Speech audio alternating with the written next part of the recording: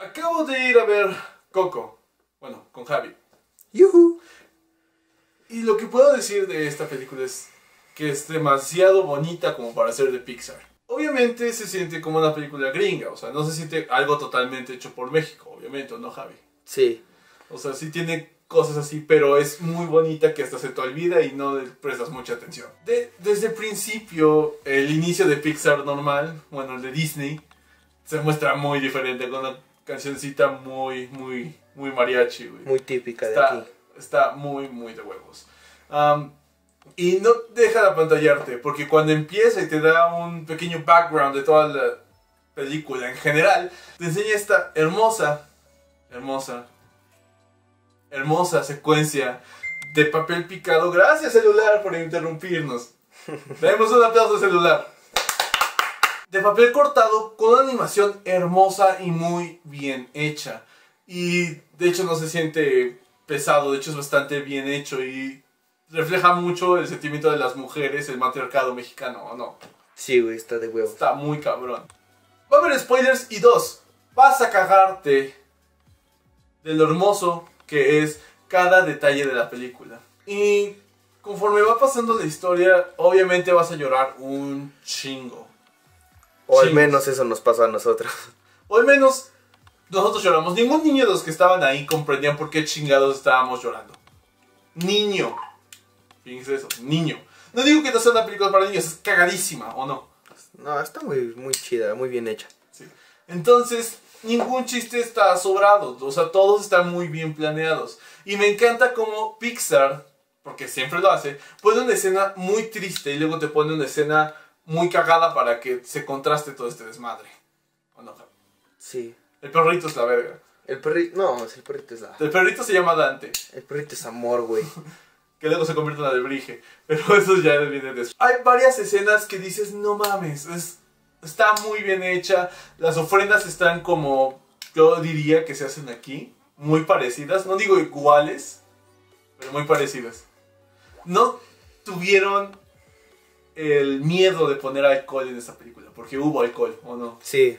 El Uh, mezcalito, güey. El mezcalito, güey. Algo típico. Hasta las señoras chupaban. Eso sí lo capturaron muy bien. Aquí en México, por si no eres de México, obviamente si eres de México, porque tenemos 27 suscriptores. Sabemos que aquí en México tenemos una cultura muy regada del tequila, al mezcal. Al alcohol en general. Tenemos muchos Típico, alcoholes. sí. Sí, no mames. Entonces iba a ser una mentada de madre que no pusieran alcohol.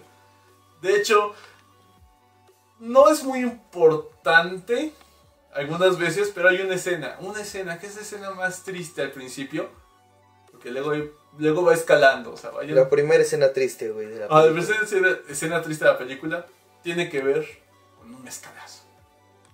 Y muy, muy, una escena muy bien hecha, güey. Muy bonita, cabrón. Y ahí me di cuenta al final, no se os voy a contar, eso sí no le voy a decir. Pero está muy buena. El Deus Ex Machina está muy bien puesto. Si no, son, si no saben qué es un Deus Ex Machina, como Javi, es como cómo salvas o cómo justificas el final, que es un poco fantasioso, con algo que ya acaban de poner durante este pedo. Puedo decirles que es la película más bonita de Pixar. Todos los detalles están muy bien puestos. La escena en la que está el agua en un cenote. No voy a decir más, no voy a producir más en eso. El agua está hermosa. Se ve como agua y no como plastilina moviéndose. Y eso tiene que ver mucho porque la verdad en los cenotes la mayoría del agua es muy cristalina Sí. y se ve muy bonito. O sea, esa escena está muy bonita. Y es una escena triste también. de hecho, los detalles estéticos de casi todo lo que está en la pantalla está demasiado bien cuidado. Los alebrijes son el perro diseño más bonito que he visto en una película, güey. Güey, son impresionantes esas madres. son, son hermosos. O sea, es muy bonito. No sentí más orgullo de ser mexicano tras ver un alebrije. Los alebrijes son algo que va con nuestra cultura, que nos lleva. De hecho, los alebrijes ahí los tomaron como una especie extinta, que es muy cagado porque durante el- la etapa prehispánica, los alebrijes se tomaban como una especie extinta, güey. Y por eso están ahí, son, y ayudan, son guías en el Guías inframundo. espirituales. Exacto. Y los Solesquinkles, Me encanta que también los Show Squinkles, por cierto, son un perro muy feo, pero están en peligro de extinción. Hashtag Save Show Squinkles. Ay, el soundtrack. Todo el score de la película está muy bien hecho. Hermoso. No soy muy fanático de la banda, bueno, de la- del sonidero de la banda, todo ese desmadre. No fue sonidero, fue grupo, fue música grupal, música tradicional, regional. No, cuando pasaron los estos con sus trajecitos rosas, güey. Eso sí era banda. y de hecho suena muy bonito, no suena como banda, o sea, está muy bien hecho también, güey. Y. Wow. Wow. El Buki. El Buki. sí, el Buki sale de la película haciendo la voz de. de la Cruz. Del malo. Sí, el de la Cruz es el malo. No lo van a saber hasta que salga verdaderamente la película. Se menciona demasiado. Y de hecho es algo que rompe con todo. O sea, te rompe los esquemas que tenías al principio y un chingo de cosas. Yo creo que esta es la mejor película animada del año. Yo creo que le va a ganar a muchos de, de otros. Y no creo que sea como Zootopia. Zootopia a mí no me gustó mucho. Tengo que decir que es una película buena de Pixar. Digo, la película de Pixar más culera es la de Cars. Me caga Cars. Me caga todo el universo de Cars y aviones. Coco, yo creo que para estos Oscars merece una nominación al Oscar a Mejor Película de Animación. Va a ganar algo. Estoy muy seguro que va a ganar algo. Y Tiene que. Tiene que ganar algo. De hecho, los detalles estéticos va a ser algo que va a ganar muchos premios. Si no es que va a ganar el premio principal, que es Mejor Película de Animación. No creo que esté nominada a Mejor Película del Año, porque no se ha visto a una película de animación ganando esa- ese honor desde La Bella y la Bestia, que de hecho ganó, fue nominada. La única película de animación nominada y ganada a la Ah, Mejor Película del Año. Luego un, re- un review de eso. No dejen pasar la oportunidad de ver Coco.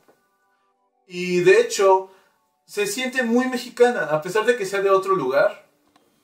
Se siente muy mexicana, con tradiciones muy arraigadas y ya sé, es un pueblito. Pero, por favor, no se enojen. Aquí en México hay muchos pueblitos que siguen esas tradiciones. De hecho, hay algunos como medios que se están quejando de eso, pero la verdad es que es una queja muy estúpida. De hecho, Completamente ridizurdo. Exactamente. Porque, de hecho, la del pueblito no sale mucho. Sale más el mundo de los muertos. Y tiene cosas hermosas. Bueno, espero que les haya gustado este review porque no es un video como el de It. En el de It, digamos que era menos fresco. Ese tomé el tiempo de escribir, pero ahorita tenemos que grabar esto porque, pues, hashtag hype. Dale like, suscríbete, compártelo, eso nos ayuda un chingo a que este canal crezca. Entonces, sin nada más que agregar, ¿quieres agregar algo? ¿Es Javi? Ya córtalo, Javi.